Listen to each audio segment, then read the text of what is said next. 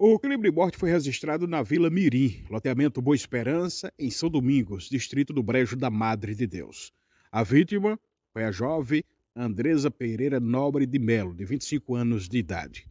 Conversar aqui com o pai da vítima. Como foi que o senhor tomou conhecimento que a sua filha tinha sido assassinada?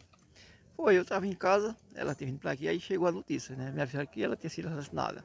Imediatamente eu corri para cá. Quando cheguei aqui, vi minha filha tirada dali, pela de sangue, estava sem vida já. Nessa situação, outro filho seu também chegou a ser Foi, ferido. foi, foi, só não foi faqueado porque contra só o dedo dele, mas ele ia acabando com ele também. Há quanto tempo ela convivia com o assassino? Cinco anos. Cinco anos. Há Tem tempo estava separado? Faz uns três dias que está separado. Tá na casa da mãe dela, trabalhando. A filha deixava os filhos lá e ia trabalhar. E hoje eu não queria aí. Mas sempre discutia, separava. É, discutia, né? Eu vivia em casa, é meio difícil vir aqui. Sempre discutia ali para lá, voltava de novo e isso aí foi o que deu, foi isso. Aí no dia de hoje, a gente observa aquela que veio buscar os troços dela, troço e ele fez o que fez com ela. de forma covarde. É, pra mim isso é papel como faça não. Se não der certo, não dá, né? Matar a mulher por quê? Porque não deu certo ver com ela, aí arruma outra. E, ela, e, e ele arruma outra e pronto, e aí vê. Tem filhos? Tem, tem dois casais, um, men- duas meninas e um menino, um casalzinho. Dele só tem uma menininha. E o menino é do- já é do pai. já- No momento, é, apenas o seu filho estava acompanhando ela aqui para retirar os troços. Tava acompanhando ela. Vai tirar os troços. Mas em covardia ele fez isso com ela.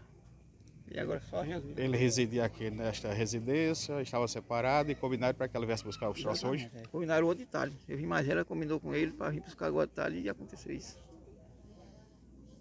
Quando foi hoje? O jeito que ela saiu do trabalho veio para cá. Veio pra cá. A Lúcia passou lá em casa, pegou minha moto e meu, meu menino pra cá e aconteceu isso aí. Inclusive o senhor queria vir acompanhando E ela. ia né? vir e ela não quis.